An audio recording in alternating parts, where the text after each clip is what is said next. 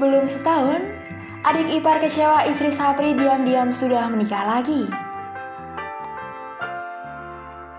Beredar kabar Irma Suryatin yang merupakan istri almarhum Sapri sudah menikah lagi tak lama setelah suaminya meninggal dunia. Seperti diketahui, Sapri wafat pada Mei 2021. Keputusan Irma Suryatin untuk menikah lagi disayangkan oleh adik ipar Doli. Menurut Doli, Irma mantap untuk menikah lagi sekitar 7 bulan sepeninggal Sapri. Ya memang sih saya juga gak nyangka, istri almarhum baru 7 bulanan saya meninggal, terus lamaran. Kata Doli dikutip dari akun YouTube Nitnot yang diunggah pada Rabu 6 April.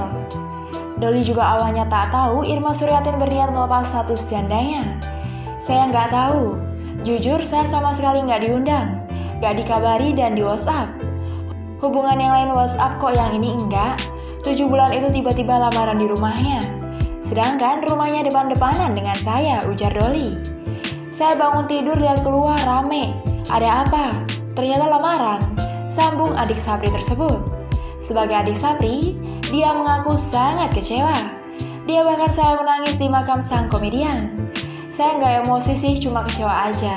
Kok tiba-tiba lamaran baru tujuh bulan? Belum setahun Sapri meninggal, ukap Doli.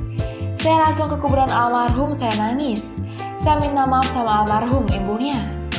Menurutnya, Irma seharusnya bisa menunggu peringatan satu tahun kematian Sapri apabila ingin menikah lagi. Sebulan kemarin nikah, lamaran di rumah almarhum. Nikahnya di rumah lakinya yang baru. Tapi sekarang lakinya tinggal di depan rumah saya persis. Kecewa. Bisa harusnya haul dulu, tegas Doli. Sebelumnya, Sabri meninggal dunia pada 10 Mei 2021 di Rumah Sakit Sari Asih, Ciledug, Tangerang.